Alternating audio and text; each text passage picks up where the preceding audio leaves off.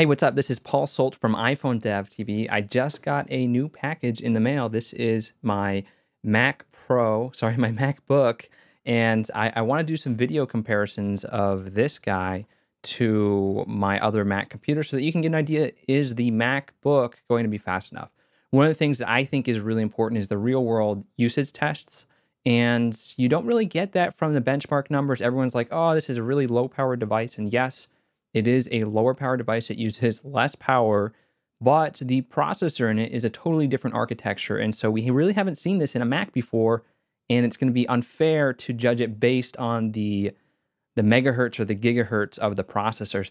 These things don't really uh, make a whole lot of difference right now. A lot of the things that you're going to notice is performance and, usability comes from the SSD, and Apple has improved the speed. So we're going to see that boost, making this a, a more usable machine. So I have it right here. I took it out of the box and it is it's pretty nice and light. This weighs as much as two iPads. So you can put two iPad Airs together. That's the weight you're looking at, just over two pounds for this guy. And it comes with an interesting adapter. So you get right out of the box, it almost looks like the, I think it's a five watt uh, iPad charger.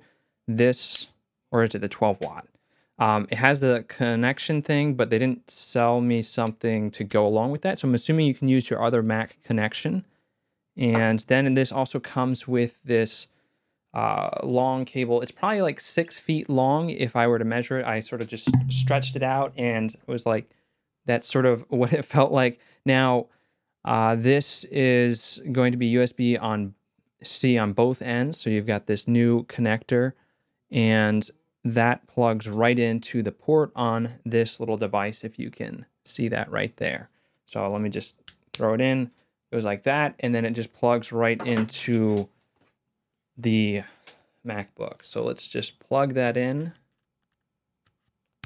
Now this is reversible, which is what I'm really excited about. I like reversible plugs, especially USB. I really hate when I cannot reverse that. So that is the plug and it takes a, a good amount of force. I could probably, um, I can hold the device with that plug. So that's kind of interesting. And if I just pull that out, if this does get pulled off your desk, it's going to pull your Mac. Now, a lot of people talked about the MagSafe and not having it here.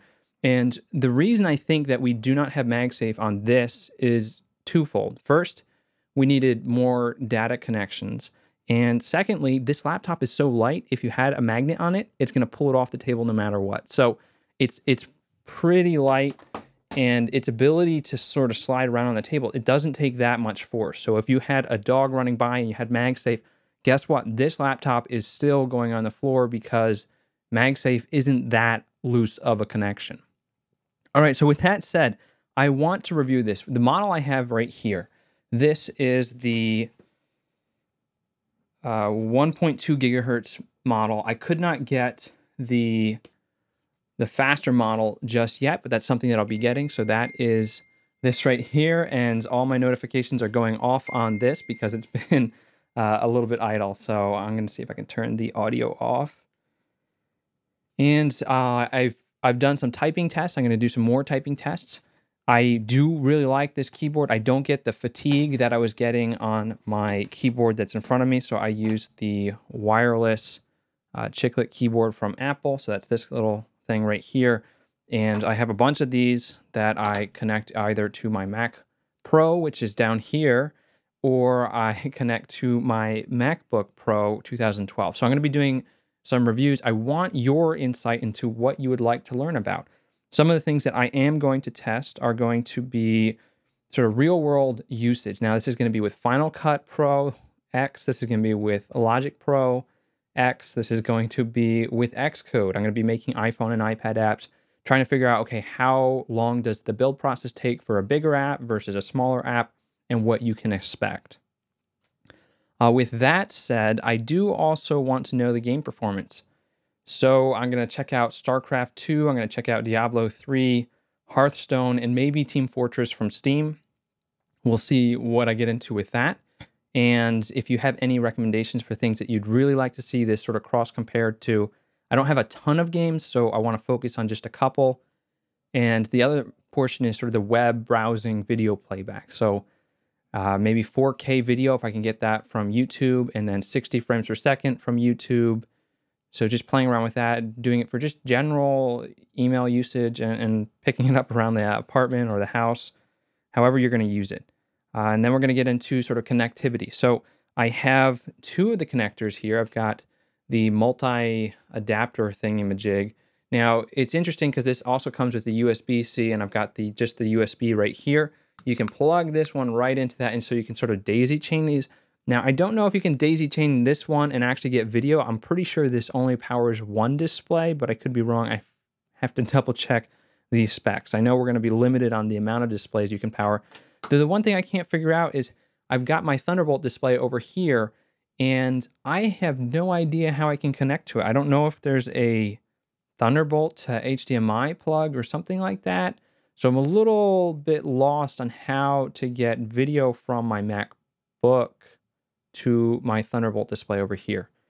If you have a suggestion or something that might work, I have a Blackmagic um, Thunderbolt, but I don't think that'll help either. So um, I'm honestly not sure. If you like this video, please hit the like button. You can subscribe for more updates when I get to play around with this computer a little bit more. I really haven't had a chance to use it much other than setting up a lot of the accounts, downloading some of the, the much needed applications that I use on a regular basis.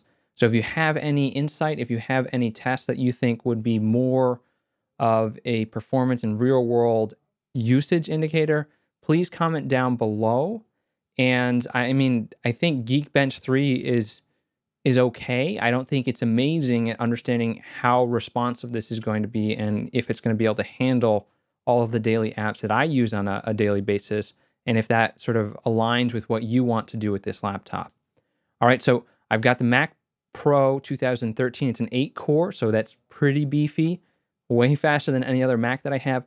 I got the MacBook 1.2 gigahertz. I actually just ordered the 1.3 gigahertz, but that's going to have like a three to four week shipping delay. So I won't get that right away. And then I have in my bag over here a MacBook Pro 2012. It's a quad core uh, i7. So I'm going to be testing the same type of applications across all of them, giving you some idea for the performance. Everyone's saying that this is the performance of the Mac, uh, the MacBook Air 2011, and I don't think that's the case. I think this is a lot faster and it really comes down to those real world scenarios. So if you like the video, click the like button, thumbs up, and I look forward to showing you more insight about this MacBook 12 inch. All right. Its screen looks amazing. I think you're going to want to check it out if you haven't already done that at the Apple Store. All right. Have a great day.